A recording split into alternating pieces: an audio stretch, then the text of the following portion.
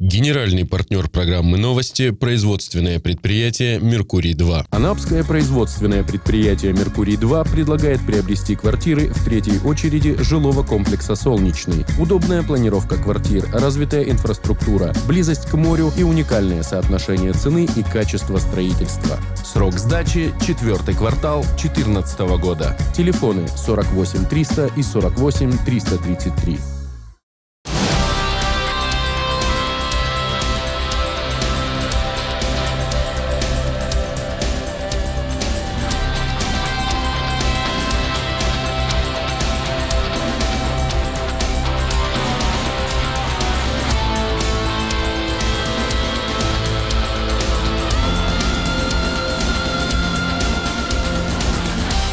Здравствуйте, в эфире программа «Итоги недели» в студии Кристина Арабина. Чем запомнились анапчанами гостям курорта минувшие семь дней, расскажем итоговом выпуске новостей за неделю.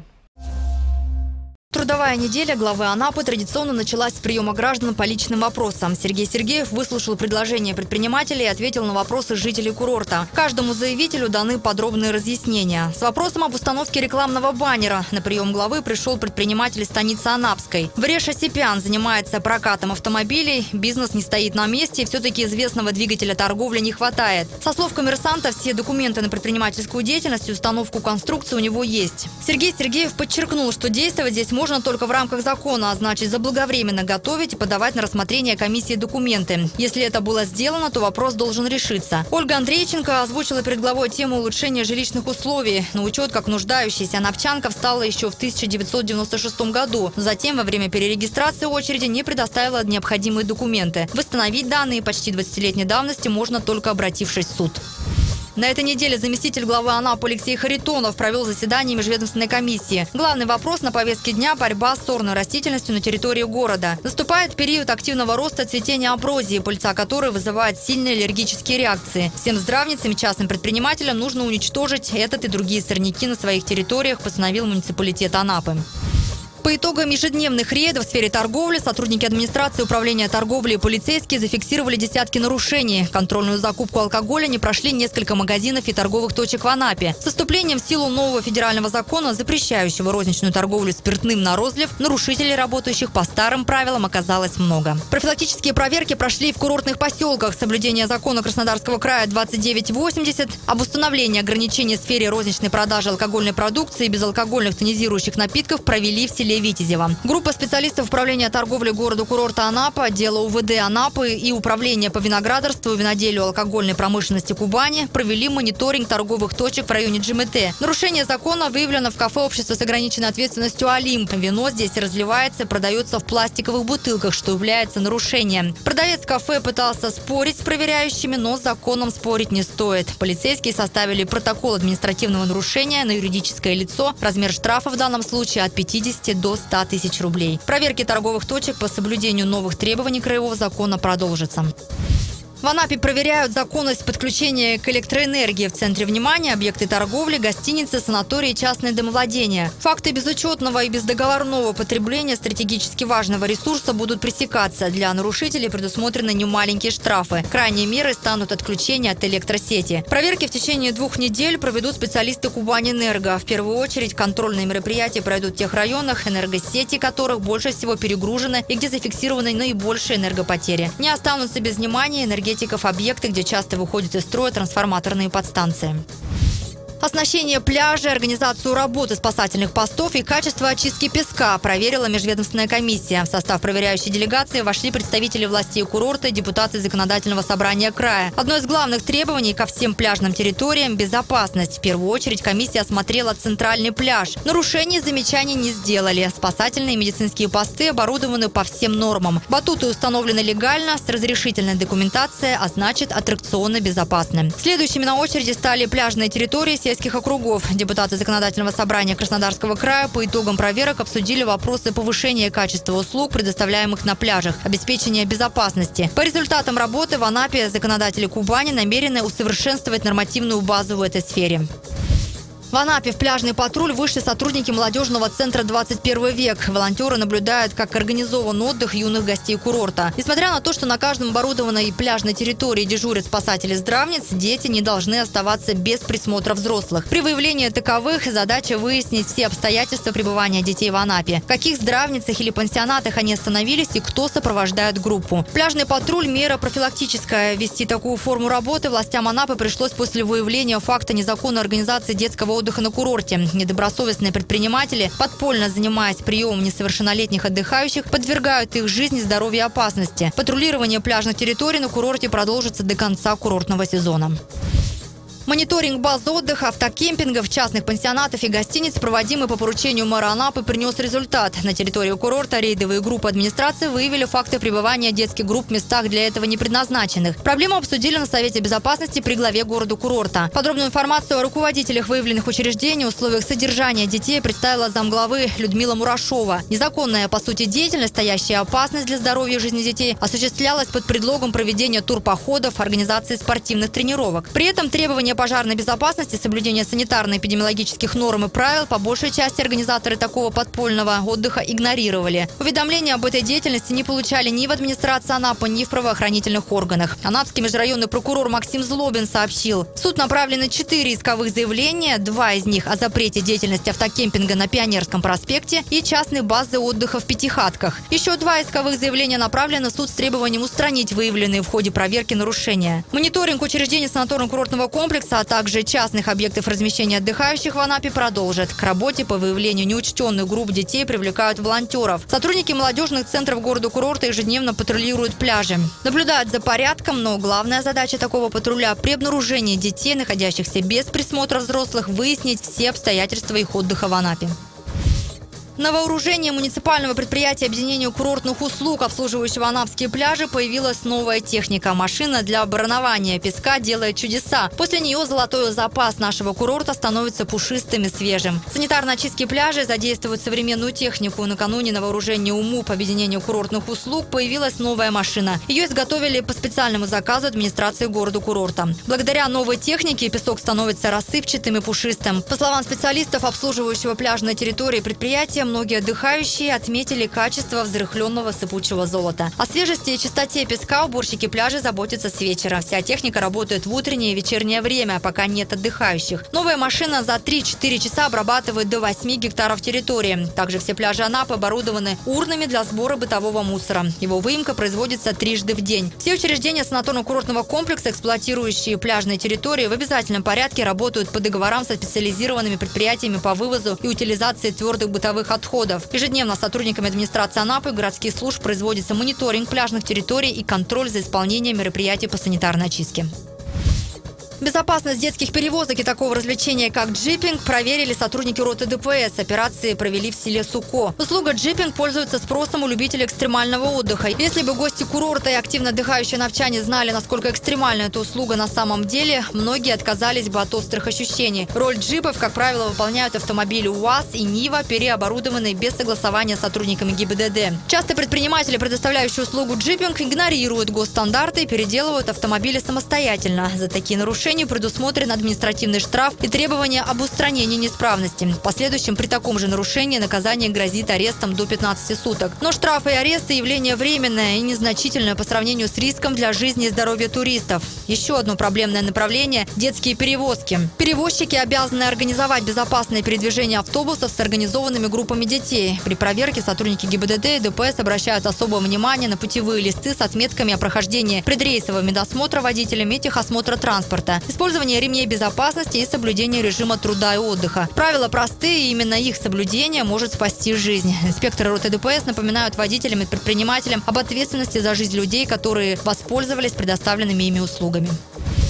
Очередное плановое учение провели сотрудники пожарной безопасности на базе отдела МВД в Анапе. Отработали легенду учения с отличным результатом. Сигнализация сработала четко, эвакуация находящихся в здании людей началась незамедлительно, а дежурный сигнализировал о ЧП по номеру 01. Так начались совместные учения пожарной охраны города-курорта с отделом МВД. Пожарные расчеты прибыли, уложившись в нормативы времени. Поставленная задача перед пожарными – локализовать место возгорания, проверить здание, если потребуется произвести эвакуацию людей, что и было сделано при помощи помощью пожарной лестницы. По результатам учений, времени и отработанным навыкам сотрудники пожарного отдела и отдела МВД доказали, к чрезвычайным ситуациям готовы.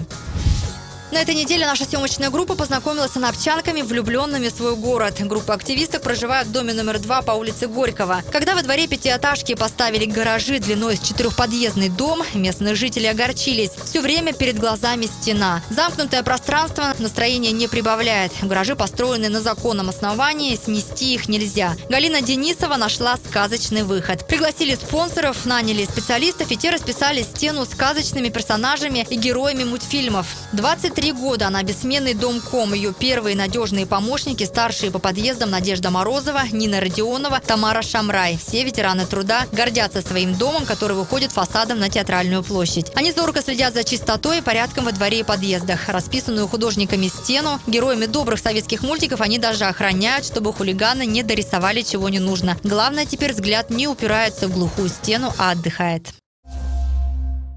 Смотрите сегодня в итоговом выпуске программы. Выездной прием граждан провел глава Анапы Сергей Сергеев в курортном поселке Суко. Будьте добры предъявить документы для проверки и не препятствуйте работе сотрудников правоохранительных органов. Анапчане стали победителями в президентских состязаниях. Фотоконкурс продолжается. Интересные фото в красивых местах Анапы, путевка на отдых в анапских здравницах.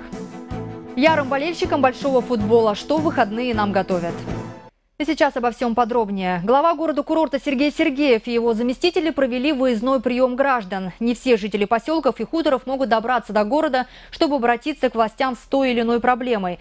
Поэтому выездные приемы стали правилом и эффективной формой работы с населением. Правом возможностью обратиться к мэру лично в четверг воспользовались жители Субсекского сельского округа. Сергей Сергеев принял 9 человек. Жительница села Большой Утриж Галина Макарова рассказала главе о жизненной ситуации, связанной с оформлением в собственность земельного участка. Как это нередко бывает, пожилая напчанка не уживается с дочерью и, чтобы не обременять родственников, стремится жить отдельно. Участком пользуется с 90-х годов, но не может юридически его оформить. Обращение в суд не принесло результата. Сергей Павлович поручил своему первому заместителю Светлане Яровой тщательно изучить вопрос и оказать юридическую помощь заявителю. Просьбы Валентины Сайкиной касались жителей четырех многоквартирных домов Киблерова. В кассе РКЦ принимают не все платежи за коммунальные услуги. Для расчетов с управляющей компанией приходится выезжать на почту или отделение банка. Пожилым людям сложно. Глава Анапы пообещал посодействовать в решении вопроса, а также рассмотреть возможность устройства пешеходного перехода к автобусной остановке в Киблерово. Руководитель ТОСа номер 142 в поселке Малый Утриш Василий Литвинов поделился с Сергеем Сергеевым сложностями в своей работе. Основная – вывоз мусора заповедной территории. Не секрет, Малый Утриш своей природной красотой и удаленностью от городской суеты привлекает туристов-дикарей со всей России. Отдыхать там любят многие, а убирать за собой единицы. Глава курорта и общественник обсудили возможности решения этой и других существующих на территории проблем. Сергей Сергеев поставил на контроль озвученные заявителем вопросы. Побывать в просторном, чтобы на месте изучить проблемы и принять важные для жизни поселка решения, главу Анапы попросила Людмила Юрова. Одна из поднятых ею тем – ремонт ремонт местного клуба. Сергей Павлович пообещал не оставить просьбу без внимания. Клуб – центр проведения досуга детей и молодежи. Оставлять просторный, без культурного очага нельзя. Еще один немаловажный вопрос – закрепление профессиональных кадров в сельской местности. Людмила Юрова рассказала о врачах, работающих в просторном, и содействии главы в решении их жилищного вопроса. Заместители главы Анапы также провели прием жителей Субсехского сельского округа по личным вопросам, каждый по своему направлению. Все обращения поставлены на контроль.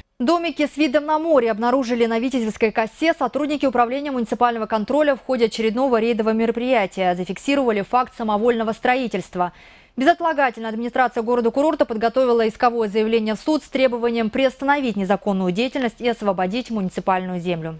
Факт незаконной установки деревянных строений на пляже мобильной группы управления муниципального контроля выявили в ходе своей ежедневной работы мониторинга территории курорта. Открывшаяся на одном из участков Витязевской косы картина весьма красноречива. В метрах ста от уреза воды расположились так называемые «домики», которые, судя по рекламному баннеру, были готовы к сдаче в аренду отдыхающим. На самом деле это бытовки для одного или нескольких человек. Из всех благ цивилизации деревянный туалет и душевая вокруг территории города горы мусора. За домиками складированы сломанные пластиковые лежаки, разбитые мангалы и стройматериалы. На момент внезапной проверки муниципального контроля в одной из бытовок оказались двое мужчин. Предоставить разрешительную документацию они, естественно, не смогли. И выйти на связь с нелегальным застройщиком тоже. Хотя и хозяин деревянных бунгало вряд ли смог бы найти необходимые документы. Об их оформлении он и не думал, а вот развитие своего нелегального бизнеса продумал в деталях. Судя по находящимся на участке строительным материалам, самовольщик планировал увеличить количество домиков, а также построить торговую точку, но этим планом сбыться не суждено. Администрация Анапы подготовила и направила в суд исковое заявление о приостановке незаконной предпринимательской деятельности и освобождении муниципальной земли. Контрольные мероприятия Управления муниципального контроля продолжаются. По итогам прошлой недели составлено 74 протокола, зафиксировано 55 нарушений правил торговли, 16 нарушений по вопросам благоустройства и 3 в сфере землепользования.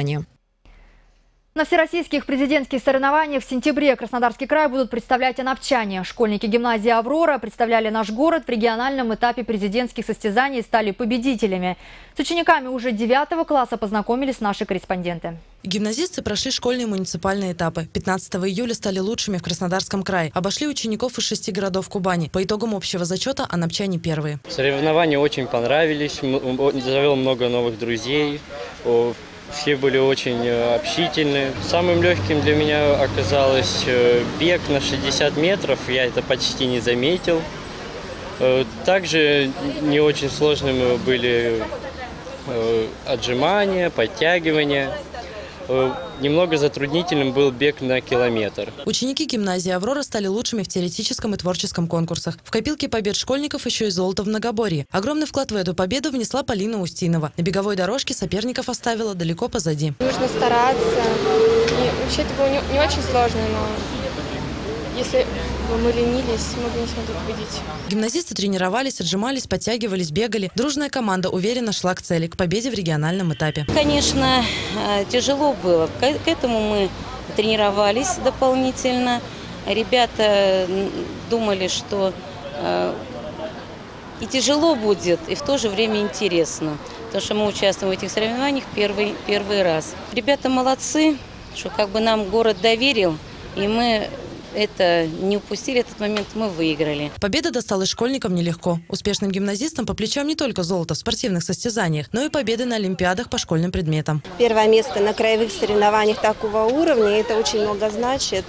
И дети и спортивно развиты, и интеллектуально развиты, и вообще у меня очень хорошие дети, которых я очень люблю. Несмотря на каникулы и жаркую погоду, гимназисты тренировки не пропускают. В сентябре в поселке Суко пройдет финал президентских состязаний, на котором анапчане представят Кубань.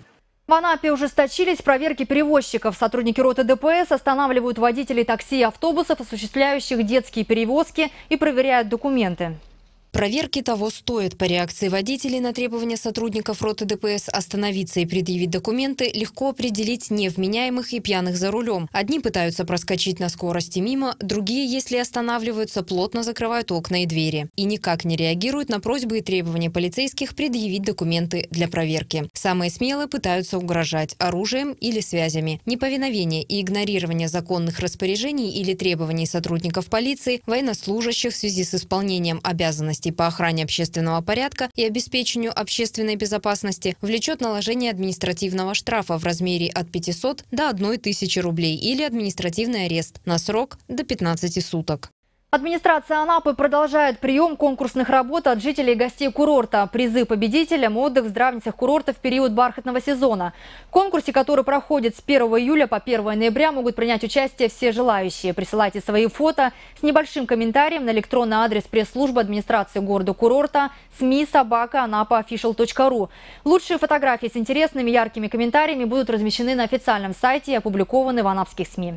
Для участия в конкурсе принимаются работы в электронном виде. Фотографии в формате JPEG отправляйте на электронный адрес СМИ собака до 1 ноября. Каждый участник может оставить не более пяти фото. В конкурсных работах должна содержаться следующая информация. Фамилия, имя и отчество автора, город проживания, контактный телефон и адрес электронной почты. Название фотоработы, место и по возможности дата съемки. Обладатели трех призовых мест получат возможность отдохнуть в анапских здравницах. Приз за первое место 10 дней отдыха, за второе 7 и за третье место 5 дней. Имена победителей будут объявлены в феврале 2015 года на ярмарке путевок детского и семейного отдыха «Анапа. Самое яркое солнце России». Возможность отдохнуть в санаториях курорта будет предоставлена в мае и в сентябре 2015 года. Бархатный сезон в Анапе – это волшебное, незабываемое время, поэтому осуществите свою мечту, участвуя в конкурсе. Рассказ об отдыхе победителей с их впечатлениями будет размещен на официальном сайте администрации муниципального образования город-курорт Анапа. Лучшие фотографии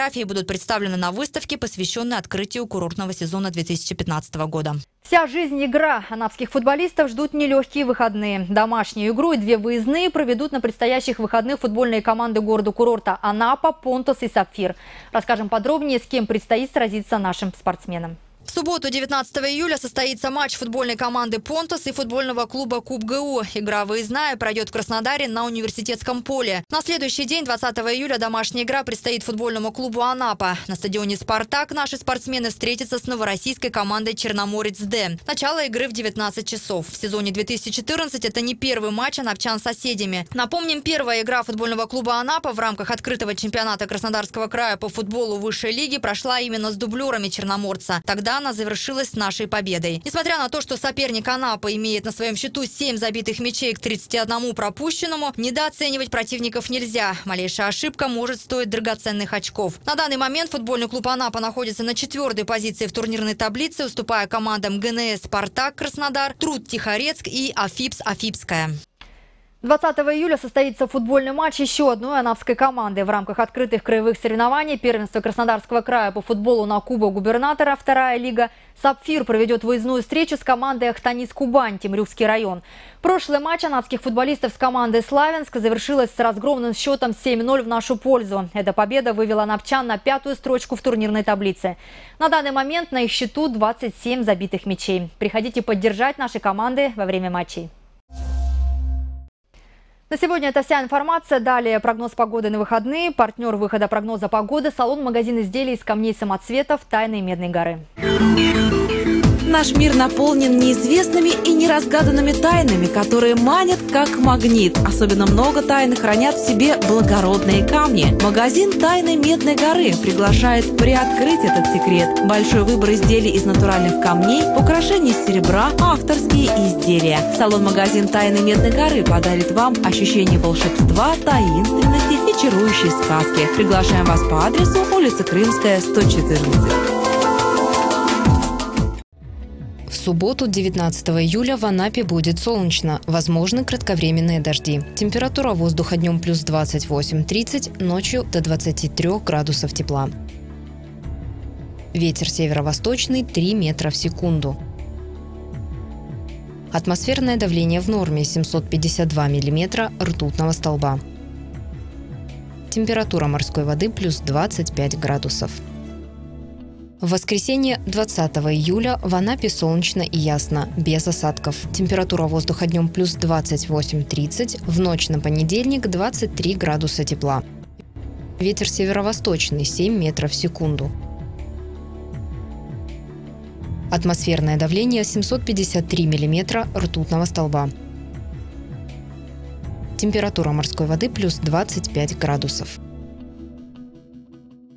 Далее блок полезной информации от партнера программы «Итоги недели» производственного предприятия «Меркурий-2». Эти и другие новости вы можете найти на нашем сайте. Я с вами прощаюсь. До встречи и приятных вам выходных. Генеральный партнер программы «Новости» – производственное предприятие «Меркурий-2». Анапское производственное предприятие «Меркурий-2» предлагает приобрести квартиры в третьей очереди жилого комплекса «Солнечный». Удобная планировка квартир, развитая инфраструктура, близость к морю и уникальное соотношение цены и качества строительства. Срок сдачи – четвертый квартал 2014 года. Телефоны 48 300 и 48 333.